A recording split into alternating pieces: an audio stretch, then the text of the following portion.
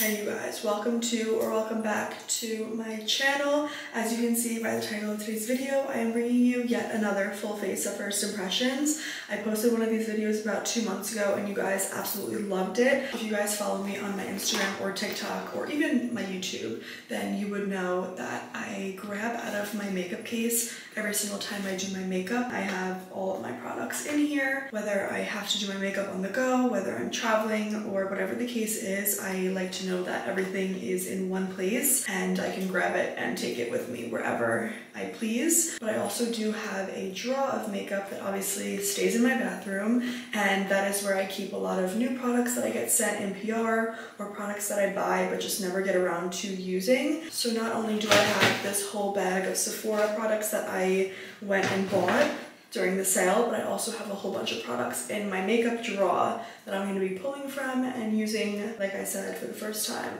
with you right here, right now. So yeah, I absolutely love filming Get Ready With Me's, and if you guys want to see more day-to-day -day style Get Ready With Me's, at a faster pace over music and kind of aesthetically pleasing, then be sure to go check out my TikTok. I'll overlay some clips right here to show you a little example of what I'm talking about.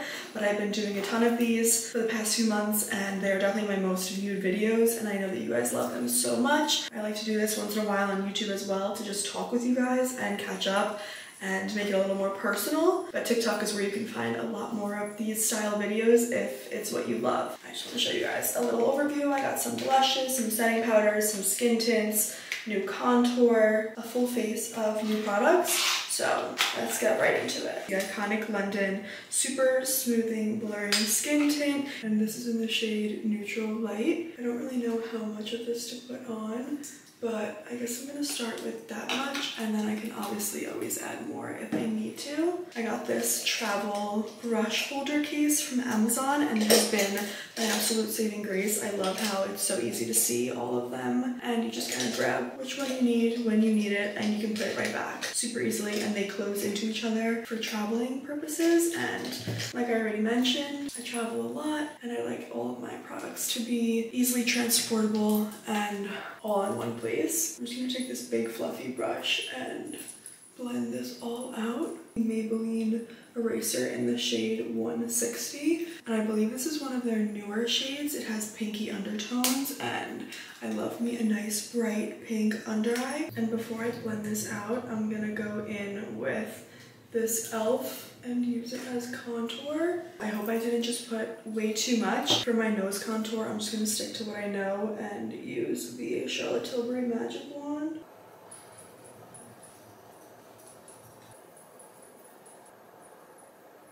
Okay, so here's what my base is looking like. I really love the way that the concealer and the contour worked. I didn't blend in my nose yet because I kind of like to let that sit a little extra long to really ensure a nice nose contour. But I use this end of the Refy brush to blend out my contour and then I use my ring fingers to blend out my concealer. I've been doing that recently and I really love the way that it looks. I feel like it gives a little bit more of a full coverage finish and then towards the end I will take a concealer brush and kind of just pat to make sure that everything is super nicely blended. I'm gonna do a satisfying, ooh, I love the applicator of this for that sole purpose and I'm just gonna take about that much. I'm gonna start with that and then obviously I could always add more. And then I'm gonna take this brush and buff it out I typically layer like a few blushes, but I feel like with this, you don't really need to. And I love that it's super simple. Next up, I'm going to be setting my face with the Givenchy Prisme Libre in the shade Voile Rose. And this has been one of my favorites for a few months now and I am just so obsessed with it. Hola everybody! Hace para Titi.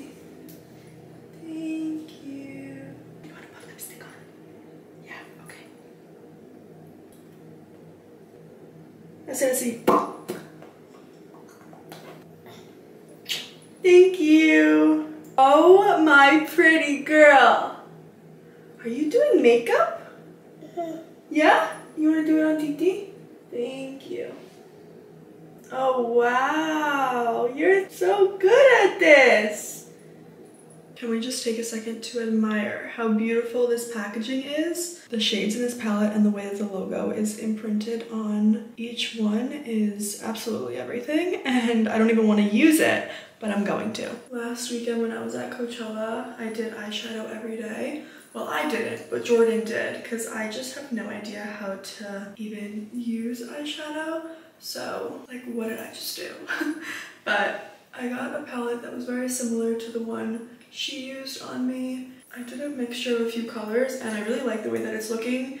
Like I said, for it being my first or second time ever attempting eyeshadow, I feel like this is okay. Next up for mascara, I'm going to be using the YSL Lash Clash in the black shade. I have seen this all over my For You page. I'm hoping for the best with this because just by the first look at the bristles, I feel like it's a lot thicker than I typically would go for in a mascara wand.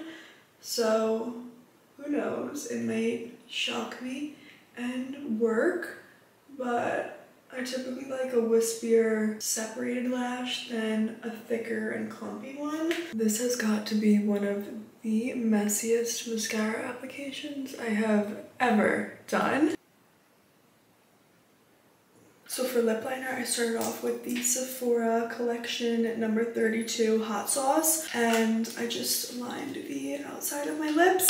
And next I'm taking the MAC lip liner in the shade Oak and kind of just lining the inside area to add some definition. And I got two new lip glosses, the Dior Maximizer in the shade 013 and then this Fenty Beauty in the shade Hot Chocolit. I think I'm gonna try this one since it's super jelly-like. Oh, this is so pretty.